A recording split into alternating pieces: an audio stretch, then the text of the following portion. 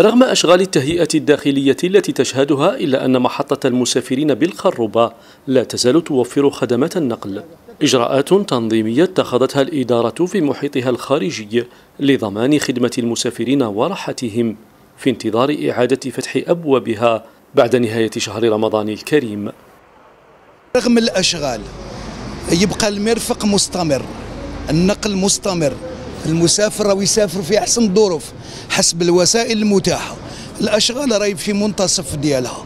إن شاء الله نقدر نقول بالك العيد نعيدوا في محطة بحلة جديدة بخدمات جديدة. تجديد هذا المرفق الحيوي أهم ما يراهن عليه مسؤولو المحطة فالأشغال مست المرافق الداخلية التي تضمن الخدمات الضرورية للمسافرين. راح تكون فضاء عائلي توعوي تحسيسي يقدم فيه كل الخدمات وإن شاء الله حتى الخدمات اللي موجودة.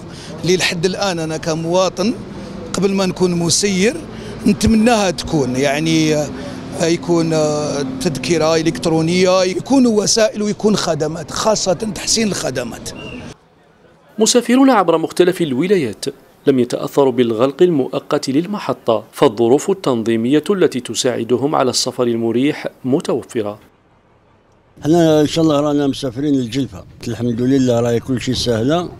وجينا رانا ركبنا ديك ما كاش صعوبات فيها. من با خمس دقائق ريزيرفيت وجيت راني لقيت ال car تستنانا في بلاصتها ثاني كلش منظم الحالة منظمة يعني لا بأس.